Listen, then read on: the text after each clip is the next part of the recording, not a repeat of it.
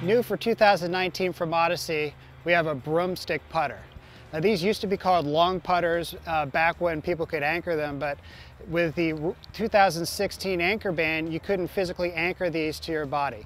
So the model that we're bringing is uh, a two ball model, which is still very popular with people on tour and in the marketplace. It has our new white hot micro hinge insert, and it'll come in 48 inches and 58 inches. Now I'm going to give you a little demonstration how to use these where the putter is conforming, how you use it could run afoul of the rules. And so the way that you used to use this putter is to set up and actually physically anchor the butt end of the club and your hand to your sternum to stabilize it. What you have to do now is actually not physically anchor it. So you can set up with it anchored, but you need to move it away before you actually stroke the putt.